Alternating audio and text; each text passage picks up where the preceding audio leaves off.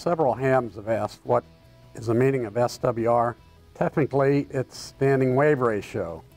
In layman's terms, that's a good indication of how much power is going to your antenna and how much is not going to your antenna or being reflected back to the transceiver.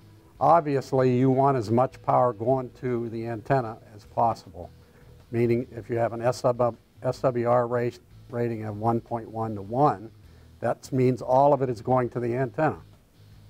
1.5 to 1 is still excellent. It's like you're having high 90%, 97% or so of your power going to the antenna and not being reflected back. Um, even SWR 2 to 1 is usable.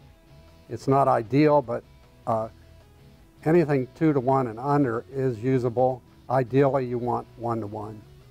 Okay, I had a customer that uh, had a TW antenna and had our 40 meter uh, box for that. He couldn't get his SWR under 3 to 1.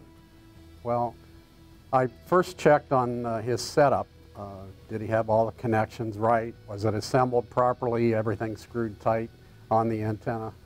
And did he have the right length of coax? We're recommending 75 feet of coax and strung out he was all right there. The second thing was what was it next to? Was it sitting next to a metal building? That would detune the antenna. So, but it was in the open and uh, he had all, everything right. So the next step, the next thing you can do to lower your SWR and get that antenna to tune right is to open the box itself. There's screws that hold it together.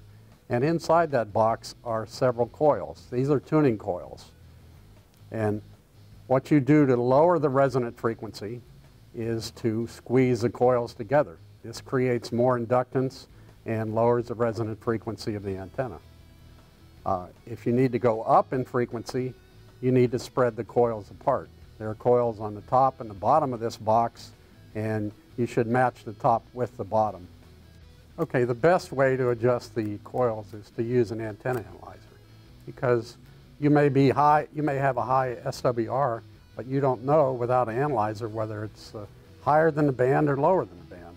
So you don't know which way to go. That is, uh, so my recommendation to this person was to do it in small increments and see what's happened. You know, he could have been, he could have pulled the coils way apart or squeezed them way together and been gone from the top end of the band way down to the bottom end and not knowing what he's doing. If you make small incremental changes, you'll either get closer or farther apart. So if you go farther away from, or you get a higher res SWR like 4 to 1, you know you went the wrong direction. You should have squeezed them instead of pulling them apart.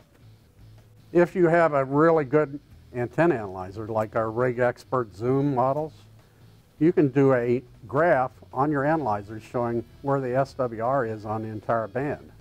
So say you're three to one where you want to be, and it's actually one to one at the high end of the band.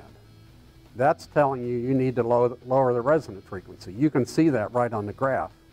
And as you leave that antenna analyzer on there, you could actually make an adjustment and go back and look at the antenna analyzer and you know what you've done without using your transceiver.